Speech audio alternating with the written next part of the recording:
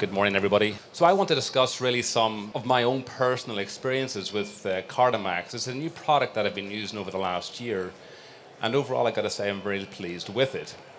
Uh, I have no disclosures re- relevant to this uh, talk. Um, so, hyaline articular cartilage, we know, is a very well defined, structured um, uh, substance. The superficial zone, we have the collagen fibers uh, lined up uh, parallel to the joint surface to help resist the uh, shear forces. We then go through the transitional zone where they're more randomly orientated, and then the deep zone where they're perpendicular, and that's where most of the fluid is kept in. Uh, the proteoglycans keep it there. They're very hydrophilic, and that helps uh, resist uh, compressive loads. But the cartilage in the uh, ankle is very different from that of the knee, and because the, knee, uh, the ankle is a very highly congruent joint. But just to talk about the cartilage structure itself, as well as the um, uh, extracellular matrix, which we spoke about, has the type 2 collagen and the proteoglycans that hold the fluid. It has chondrocytes. The difficulty and the problem, unlike many other tissues throughout the body, is that the chondrocytes are trapped within the uh, extracellular matrix. So when there's a cartilage damage somewhere, they can't move over, they cannot migrate, they cannot help uh, heal the tissue. So when there is trauma done to the cartilage, it does not have the ability to repair. as Dr. Kennedy alluded to, there's approximately 30,000 ankle sprains every day somewhere across the country. And up to 60% of these will have some element of chondral or osteochondral trauma. The difficulty is what do we do when it gets to the point that it's symptomatic? Certainly, some osteochondral lesions may not be symptomatic, but a significant proportion are, and non operative treatment tends not to work. So, by and large, surgery is the mainstay of treatment, and we've really break that up into two strategies reparative, which has been the traditional microfracture. Um, MACI and AMIC fall into that bracket, and then the replacement strategies. Dr. Kennedy described his OATS procedures. There are other uh, substances that are out there that are used, be it uh, micronized or particulate type cartilage, but I want to talk a little bit about CartiMax. So this is a product that uh, I've only been using over the last year. I've done approximately seven cases with it so far, and I'm going to highlight a few of them here for you today. Uh, is from MTF Biologics, and the, the product is actually frozen, stuck in the freezer, and has a shelf life of about two years. So we now keep two of these on standby in our freezer at NYU for if uh, a case comes up that we have an unexpected lesion that's larger than 10 millimeters that we want to address uh, with a different, uh, additional product, we can have the ability to use this. And I think of it a little bit like Trinity. We often use Trinity bone, and we talk about the three features for, for bone uh, graft being osteogenic, uh, osteoinductive, and osteoconductive. Uh, and I think CartiMax is somewhat similar to that. It's chondrogenic in that it does contain viable chondrocytes is chondroinductive as it does have growth factors as well as the proteoglycans, and the type 2 collagen fibers within the matrix help make this a chondroconductive type product. But what I absolutely love about it is that it's a really well-defined workable putty. So if I'm doing an open procedure, and by and large I've only used this so far in open cases, I'm really thrilled with how I can work it, how I can mold it to fit the exact contour of the talus that I'm working with. Uh, and it stays in place. It doesn't need any fibrin glue to hold it. It stays where it is. I place the ankle through range of motion and it does not move. I sometimes worry if I'm doing another product arthroscopically or even an open, open procedure and I hold it with fibrin glue. I cycle that ankle through range of motion. That graft is somewhere stuck either in the posterior recess but not where it's meant to be. So I always have had some reservation about using uh, fibrin glue to try, to try and hold some other products in place. So what is it? Um, the CartiMax uh, contains shavings from a femoral condyle uh, from patients, uh, donors that are under the age of 35, and they harvest them uh, within three days of passing. Now, MTF has developed a very well defined process to get uh, fibers that are really of a certain size and shape that do allow the cells to migrate within its uh, matrix. Top of the, on top of the fibers, then it also has milled the cartilage to provide the viable chondrocytes also with a smaller amount of matrix as well. And then these two get combined within the uh, fibrous scaffold to produce ultimately a hyaline cartilage. Now that's been shown in the animal model. We yet to have see how that translates into actual patients. To briefly discuss how it's prepared, this is done typically on the side table by the uh, scrub tech. You take it out of the packet, you thaw it, Then you sort of strain all the preservation liquid, rinse it with saline, and then, uh, then drain the saline. Now you have to really make sure that this is super duper dry. It has to be really dry so when you add uh, the cartilage um, matrix to it, it becomes a very well defined workable putty. If it's not dried enough, it becomes more like a sludge and does not stay exactly where it's meant to be. So it's key to get this super dry. So I just want to highlight a couple of my uh, cases experiences so far. So the first case was a young 16-year-old lad who uh, has had a significant injury in October of 2022 playing basketball. He went to the local urgent care, had x-rays done. He then, interestingly, had an, an MRI done acutely within a week or so of his injury, which did, unsurprisingly, show he had a uh, tear of his ATFL, um, but he also had a fairly impressive uh, lateral osteochondral lesion and uh, ultimately was treated conservatively. Now, what you don't really see here is the damage to the lateral aspect of the talar dome. But the MRI shows otherwise. And this was the acute MRI done within a week or so of the injury, which does show the irregularity of the cortex at the lateral aspect of the talus, as well as this significant trauma uh, and almost like cyst formation acutely uh, within the uh, cancellous bone of that lateral aspect of the dome. He went on to have conservative treatment, but he still had a lot of pain, felt unstable. He was a big lad and just couldn't get back to any activities at all, so he came my way. Uh, I referred him for a repeat MRI scan just to see the state of affairs, and we planned for surgery. And this was the first case I performed using CartiMax uh, because I planned to open him anyway. I was going to repair his lateral ligament complex. He was grossly unstable in the office. And this is what we saw on the repeat scan a very unhappy looking talus, significant bone marrow edema. The little laser pointer doesn't work, but in that central image, you can see the loss of cartilage at that area, the loss of signal within it. And this is what we found at the time of surgery. So somebody asked a question earlier on, how do they address lateral uh, dome osteochondral lesions? Uh, I routinely uh, will take down the lateral capsuloligamentous complex, use a wire distractor to open it up, and I can get pretty much complete access if I really pull this forward to the whole uh, lateral talar dome. Um, and then I typically do a standard Brostrom type repair, but you can see this lesion was just over uh, 10 uh, millimeters. It was completely loose, and there was a lack of bone quality deep to that cartilage layer, as the image shows on the right hand side. So once we took out the, the uh, um, lesion, measured almost uh, 12 millimeters A to P.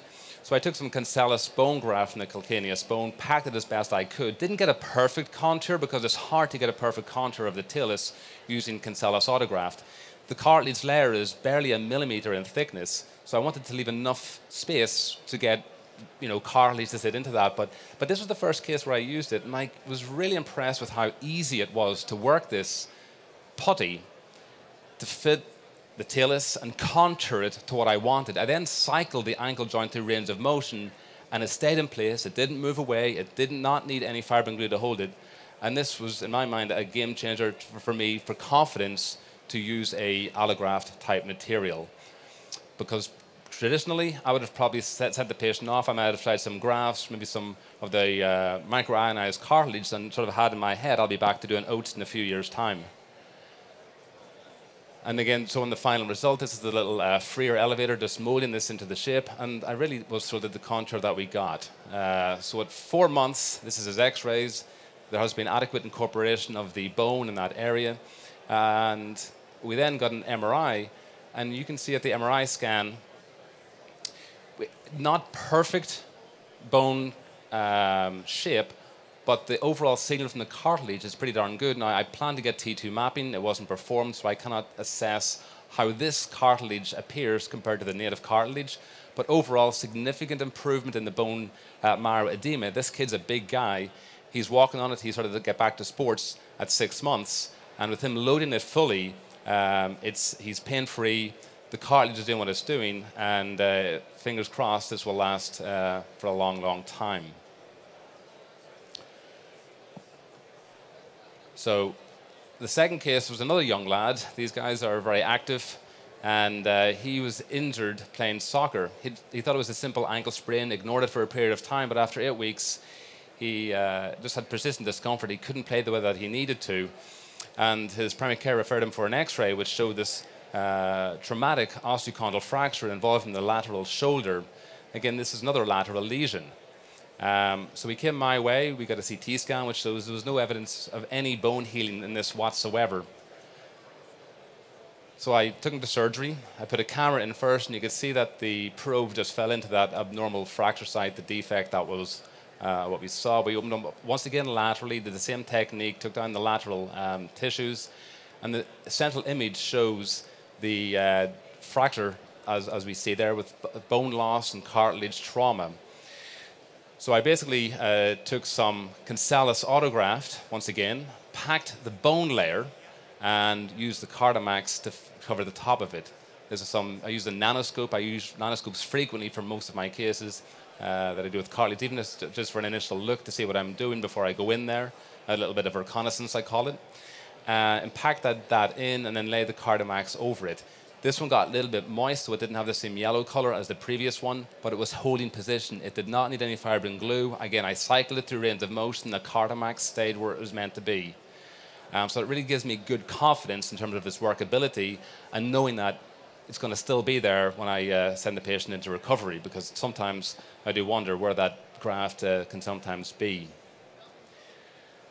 We got x-rays intraorally. I was thrilled with myself, high-fiving. Then at eight weeks, I got a little bit nervous. I thought, is this not healing in? There was certainly some um, osteopenia. Um, but when I brought him back at four months, that had totally filled in and he was completely pain free. So on him, I did encourage to get an MRI scan, which we got. And what I'm thrilled about here is that the signal change in this CartiMax cartilage graft is the same as a native cartilage. That there would suggest that we have formed adequate hyaline type cartilage as opposed to fiber cartilage, but it is only eight months. Time will tell whether this will de-differentiate um, or whether it will stay as it's, as it's meant to do. But he's back. He's back skiing over these uh, holidays. He's doing extremely well, and uh, fingers crossed it will hold up long term. But again, I need to get more follow up data, which we plan to do in another uh, few months. The final case I want to present is a young lad, uh, 27 years of age, who's a history of chronic ankle instability.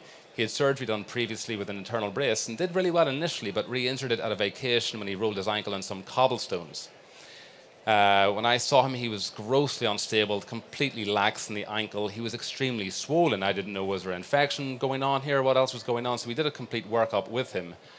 You can see at the talus, once again laterally, so so far these have all been lateral lesions. There was a little bit of exostosis of the bone of that lateral aspect of the talar dome.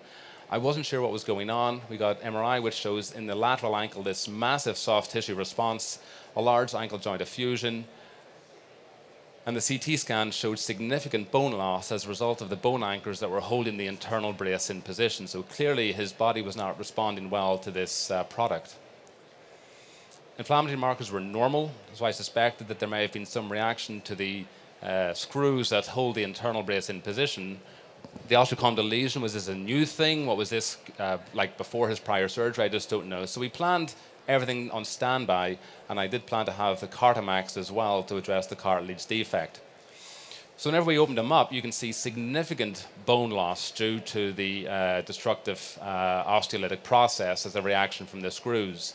So I used bone, um, cancellous bone uh, allograft, impacted that in. I took some BMAC to augment it with the bone chips to help hopefully improve their integration within his native bone you can sort of see at the image on the left the irregularity of that talar cartilage. On the right hand side, I then uh, took away the abnormal cartilage. It was extremely thin, it really wasn't viable at all. And I sort of morselized or chipped off some of that dense sclerotic prominence that was there back to the more of a normal cancellous type bone. Central image shows where I started to put some graft into it, but this again on the right hand side um, was the artistry, so to speak, of being a surgeon, I tried to really mold this CartiMax putty into the native contour of the patient's own biology. And then once again, I cycle the angle to range of motion to help almost contour this uh, into what it needs to be, the actual patient's own anatomic contour. And this was the intraoperative image. In this case, I used um, anchors to hold it back in place. There is some irregularity because, as good as I think I am, I'm never going to be able to get that exact contour of the uh, talar dome unless I were to take an osteochondral uh, graft. But I want to really build up uh, the amount of structure that's there, so that I only need to put on maybe two to three millimeters of thickness of the CartiMax to help it um, contour to the patient's anatomy. So at six weeks, uh, this is only a few weeks out, he's completely pain-free, ankle was stable, he's now doing PT, he's rehabbing, and uh, we've got an MRI plan for the end of this month. It'll be a six-month follow-up, and uh, we'll see how he's responding, but uh, so far, so good. I actually think of one more case, so why not? People are going to hang on to it, let's let, why not? Let's, we're here. This was another complex case. This was the guy that had a trauma. He fell off a ladder and had medial and lateral osteochondral lesions, had prior surgery to address them. The medial side was treated with microfracture and biocartilage, but the lateral one was just microfracture by itself. Um, he did well initially, but in August 2021, his pain was getting worse. We got an MRI scan on him. So I'm able to, I think, compare uh, the MRIs if they're coming up for me. This was his initial MRI before he had any surgery. This was after his uh, injury. Large bone edema at the medial talar dome, smaller amount laterally. This is after his surgery when he had the microfracture biocartilage, and he did extremely well. Bone marrow response was a lot less. But you can see on the lateral aspect a little signal change there in a small cystic area. Keep an eye on that because it got progressively worse. He tried cortisone shots, he didn't want surgery, things were just getting worse and worse and worse until ultimately in March of last year he said, I gotta do something about this doc, I gotta get surgery, this just is not uh, working for me. So look at that lateral aspect of the dome, significantly worse, but also it's long. It's almost two centimeters front to back. It is quite narrow, but there's a large cystic component to it as well, large bone bruising. The medial aspect was also starting to deteriorate. So this uh, was the, really I opened this guy up through incisions anteromedial and anterolateral. Um, you can see with the, by the biocartilage on the medial aspect just had not taken. It was very soft. It was not adherent. It didn't integrate at all with the native cartilage. So we took it out, did a couple of small holes into it, and applied our um, uh, to the medial uh, aspect of the dome.